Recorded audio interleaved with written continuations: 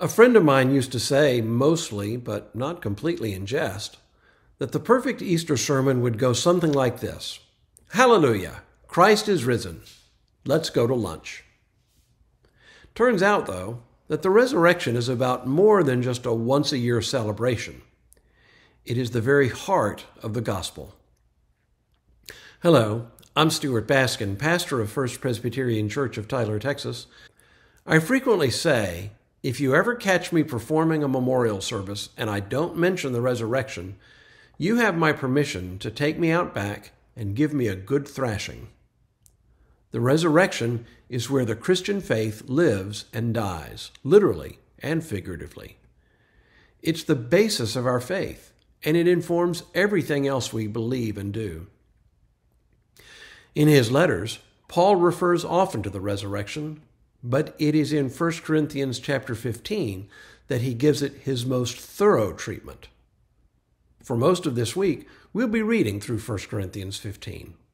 It's a lengthy chapter, but it is the most thorough discussion of the resurrection in the entire Bible. It is certainly appropriate to read through it on this week of Easter. Here's how the chapter begins. Now I would remind you, brothers and sisters, of the good news that I proclaimed to you, which you in turn received, in which also you stand, through which also you are being saved, if you hold firmly to the message that I proclaimed to you, unless you've come to believe in vain. For I handed on to you as of first importance what I in turn had received that Christ died for our sins in accordance with the Scriptures, and that he was buried, and that he was raised on the third day in accordance with the Scriptures, and that he appeared to Cephas, then to the twelve. Then he appeared to more than 500 brothers and sisters at one time, most of whom are still alive, though some have died. Then he appeared to James, then to all the apostles. Last of all, as to one untimely born, he appeared also to me. For I am the least of the apostles, unfit to be called an apostle, because I persecuted the church of God. But by the grace of God, I am what I am, and his grace toward me has not been in vain. On the contrary, I worked harder than any of them, though it was not I, but the grace of God that is with me. Whether then it was I or they, so we proclaim, and so you have come to believe. There it is. The very heart of the gospel laid out in just a few short sentences.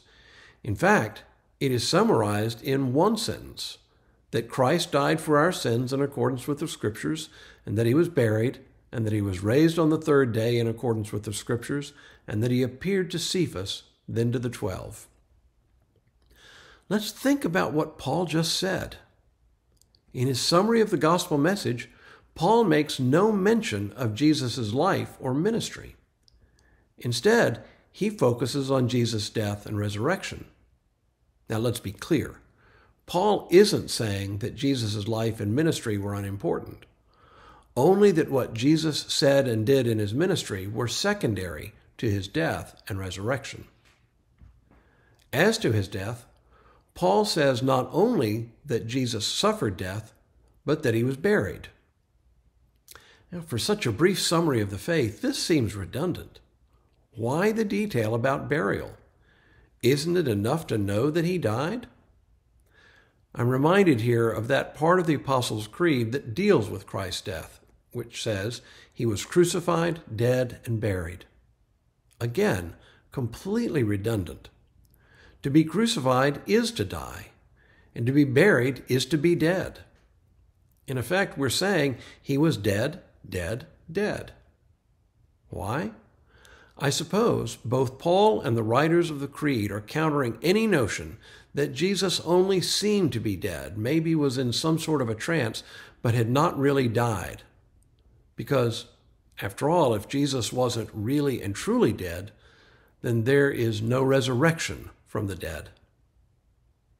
Second observation about Paul's summary there are four verbs here died, buried, raised, and appeared. The first and last of these are in the active voice. Jesus did these things. He died. He appeared to various disciples. The middle two verbs, though, are in the passive voice. He was buried, he was raised. These indicate action on the part of others in which Jesus was the passive agent. Of course, others buried him, but the really important thing is that in the resurrection, he had given up control to God the Father. It was he who raised Jesus from the dead. No thought here of Jesus just sort of spontaneously rising again. It's a point, it is a pointed reminder that we too must give over control of our destiny to God, trusting, as Jesus did, that God is faithful and can be trusted to keep his promises to us. Final observation Jesus actually appeared to people. Some of the stories we have in the Gospels, Others have been lost to time, but his appearing to different followers at different times and places is our assurance that his resurrection wasn't just sort of a mystical fable. There were actual witnesses to it, witnesses who reported it. When we return tomorrow, Paul follows the trail of what it means if Christ had not been raised.